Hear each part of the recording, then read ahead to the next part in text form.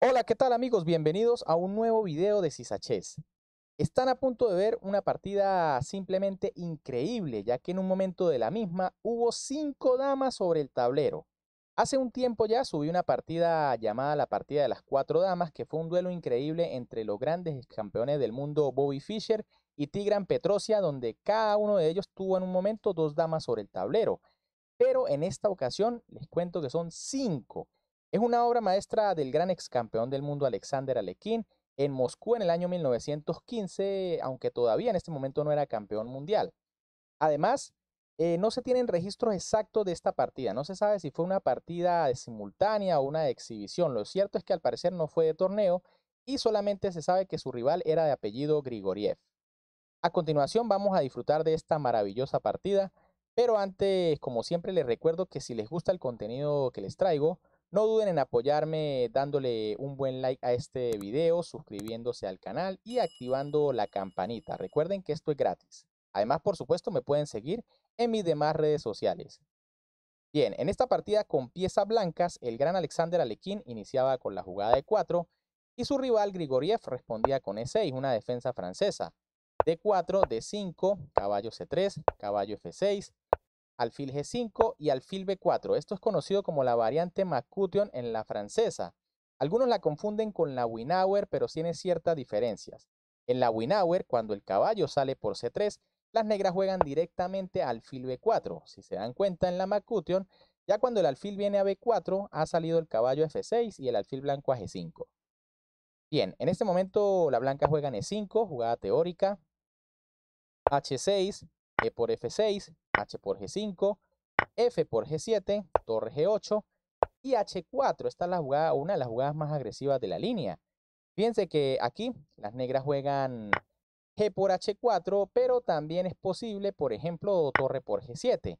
Tras H por G5, dama por G5 y dama de 3, la posición sigue igualada y esto es bastante teórico.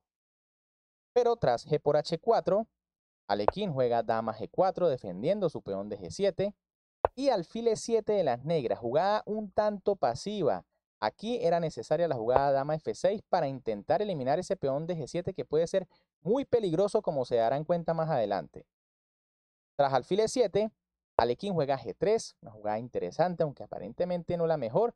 Quizá lo mejor es continuar con el desarrollo tras caballo f3. Pero bueno, Alekhine era un jugador muy agresivo. g3, c5 de las negras que también se lanzan por el flanco de dama. e por h4, D por D4 y H5. Aquí Alekhine empieza a jugar súper agresivo. Fíjense que sacrifica el caballo de C3. D por C3, H6. Esos peones empiezan a tener mucho peligro por allí en el flanco de rey. C por B2 atacando la torre. Torre B1. Dama 5 jaque. Rey E2.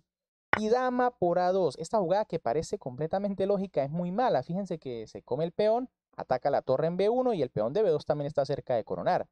Pero aquí Quizá lo mejor era dama a 6 e intentar buscar allí un perpetuo tras rey de 2, dama a 5 y por ejemplo si en vez de rey de 2, rey f3, entonces dama a 3 jaque.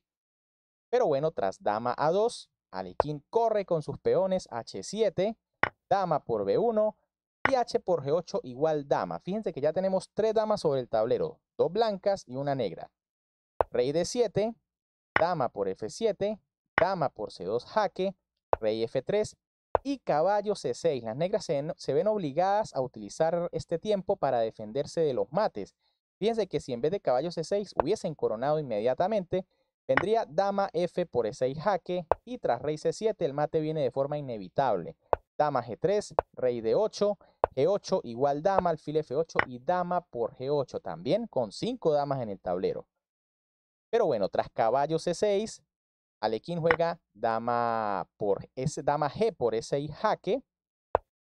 Eh, su rival juega rey C7, dama F4 jaque, rey B6 y dama E, E3 jaque. Realmente esta jugada no fue la mejor, aunque Gregoriev no da con la mejor jugada, juega alfil C5. Aquí quizás lo mejor era jugar eh, D4, un poco más agresiva esta jugada. Pero bueno, tras alfil C5, la blanca juegan E8 igual dama. Fíjense que ya hay tres damas blancas y una dama negra. Pero eh, su rival no se queda atrás y también corona en B1. Fíjense la posición, increíble. Cinco damas sobre el tablero, tres blancas y dos damas negras. Esto no se ve todos los días. Ahora, Alequín juega torre H6 y ya está especulando con un tema muy típico que es la clavada. En este momento, las negras todavía tenían una posibilidad de complicar la partida. Aquí realmente es muy complejo. Pero se equivocan y juegan dama por F1. Demasiada glotonería aquí de las negras. En estas posiciones no se puede sacar la dama así de juego por ganar una pieza. Fíjense que en este momento todavía había la posibilidad de jugar alfil G4 jaque y por ejemplo tras dama por G4, entonces alfil por E3, dama por E3 jaque y la posición es compleja. Si bien las blancas tienen una pieza de más, es muy difícil valorar la posición porque son cuatro damas las que quedan todavía sobre el tablero. Y en tal caso las negras tienen dos peones a cambio de la pieza. así que esto es muy complicado de valorar.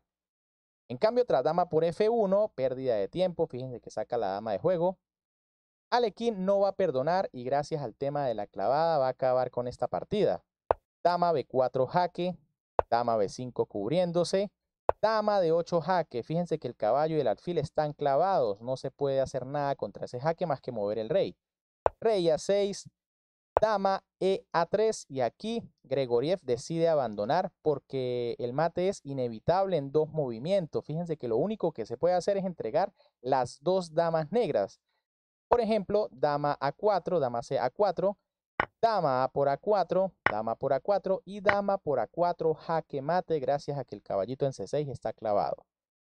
Así que, ¿qué tal amigos? ¿Qué les pareció esta partida increíble con cinco damas en un momento sobre el tablero? Simplemente fantástico, realmente no la conocía, pero me parece una partida espectacular. Así que en el canal ya tenemos la partida de las cuatro damas, de las cinco damas. Vamos a ver si existe una de seis damas. Si les gustó el video, como siempre, me pueden apoyar dándole eh, un buen like al video, suscribiéndose al canal y activando la campanita. Recuerden que esto es completamente gratis. Un gran saludo para todos, se me cuidan y nos vemos en un próximo video.